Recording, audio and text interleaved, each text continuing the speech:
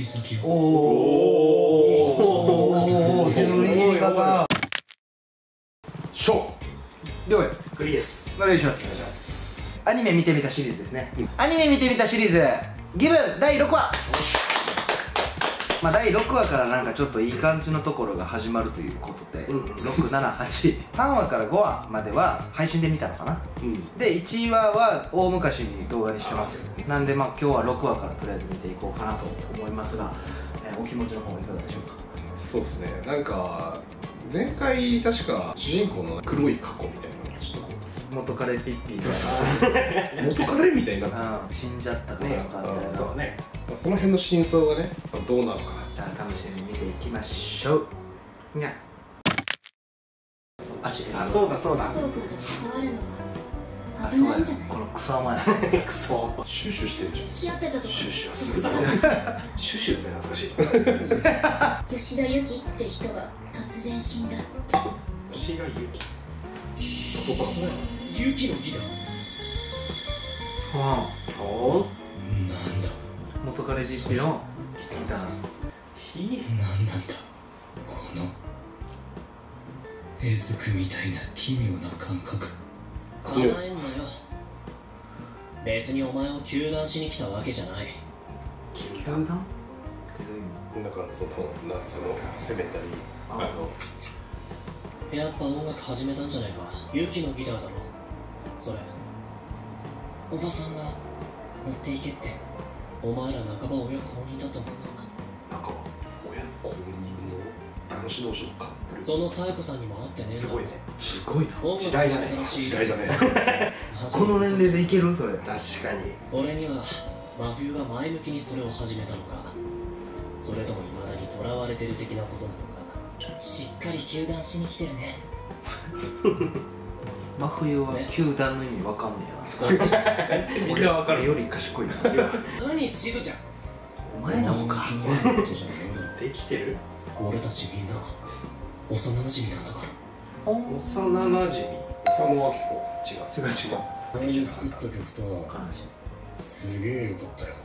俺はこれ真冬の声とのアウト歌ってんの聞いてってさすげえ劇場みたいなのを感じるわけ劇場だよ劇場ジャッジ。叫び声になる叫びあれ聞くと本当にいたたまれないんですよ。すげえいいなとも思うんですけど。腹の底がムカムカするっつうか。なんか叩き壊したくなるっつうか。真冬に歌詞書かせろよ。俺はあいつにやらせるべきだと思うわ。俺も全く同じこと考えてました。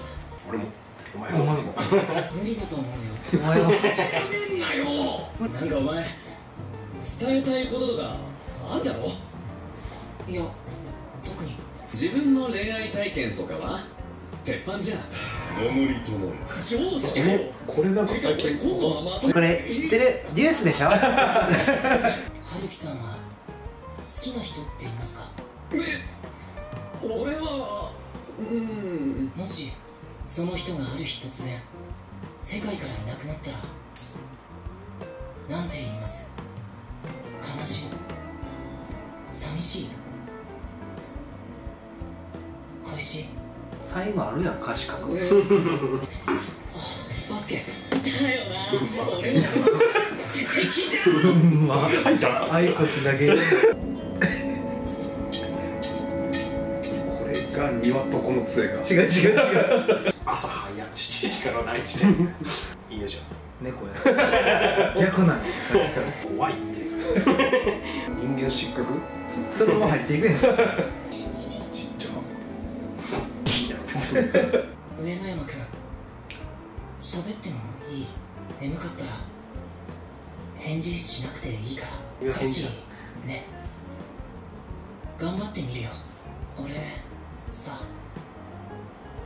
本当に。本当に好きな人がいたんだ。まだ。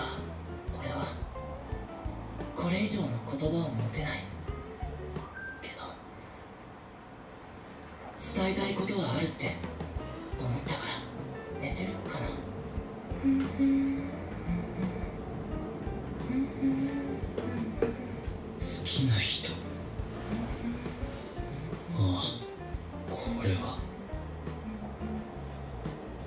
これは嫉妬だ。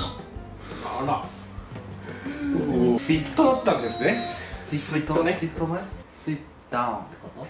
ツイッター頭悪いよとした6はクリープ。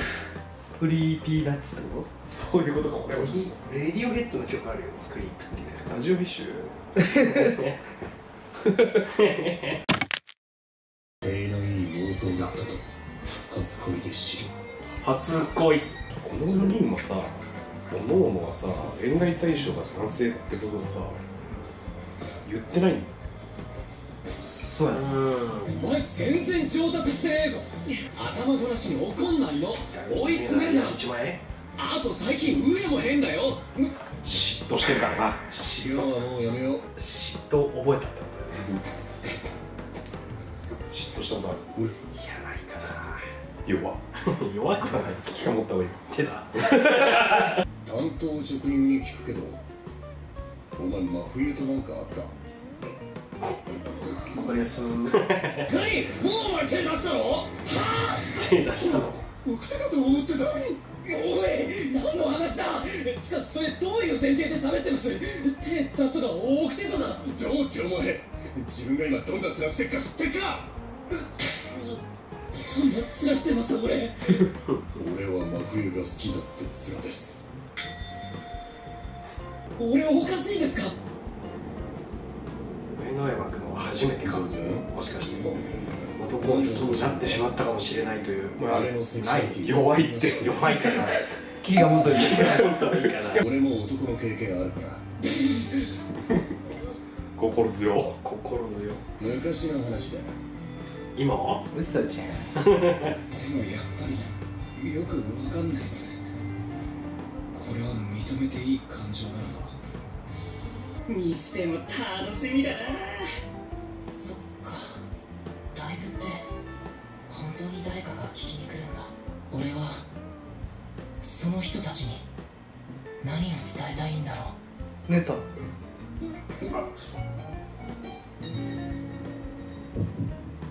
いや別にドキッとかしてねえし。本当に寝てる。い超すなちょんですなよ豆新しいの潰してる。指先おをおおお手のいい言い方上野山君おおいおき起きたおおきおおごめんね俺もやるわくりした時聞こえ歌た。できてないやめた方がいい俺は正直こいつの持ってくる歌が怖い。怖い。誰かを好きな真冬の歌を聴きたくない。いや村田右月は決して浮世離れしているわけでもなかった。きちんと人並みに感情があり。ただ途方もなく人より心と感情のサイズが大きく豊かだった強烈に妬み。そうあまりその手が腹越しに皮膚に触れた時まるで針に刺されたような緊張があって。真冬俺はこのままダラダラスタジオ練続けてもお前が歌詞書けると思わない。追い詰めてどうすんだよお前さ多分過去に決着つけねえと詩書けねえぞ。